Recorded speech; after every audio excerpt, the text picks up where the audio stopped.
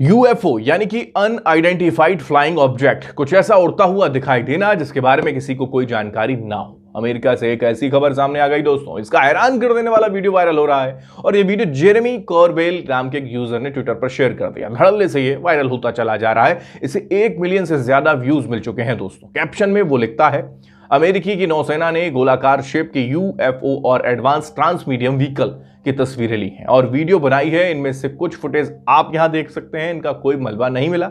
इस वीडियो में गोल आकार में दिखने वाली एक चीज़ दिखाई दे रही है। बाद में वो समुद्र के अंदर चली जाती है। जानकारी के मुताबिक जहाज़ से यूएफओ को देखने वाले शख्स अमेरिकी नौसेना के कर्मचारी थे। यह रिकॉर्डिंग यूएसएस ओमाहा में लगे कैमरे से की गई। इस वीडियो को सैन डिएगो के कम्बैट इंफॉर्मेशन सेंटर के पास बनाया गया था। इसे साल 2019 में शूट किया गया दोस्तों, लेकिन जेरेमी के पोस्ट करने के बाद ये वीडियो फिर वायरल हो रहा है और अमेरिकी एस्ट्रोफिजिसिस्ट और साइंस कमेंटेटर नील टाइसन ने इस पर अपना पक्ष रख दिया। वो कहते हैं, इस तरह की घटनाओं से इंसानों की साइकोलॉजी को लेकर कई तरह की चीज़ें खड़ी हो जाती हैं, कई तरह की चीज़ें पता चलती हैं, क्योंकि हमें यह नहीं पता होता कि आसमान में उड़ती हुई चीज़ क्या है। तो हम उसे एलियंस कैसे बता सकते हैं? वो अपने इंस्टाग्राम पोस्ट पे आगे लिखते हैं। कहते हैं कि यूएफओ में यू का मतलब होता है वो रहस्यमयी चीज़ें जिसकी पुष्टि ना हुई हो। हर रहस्यमयी चीज़ एलियंस नहीं हो सकते।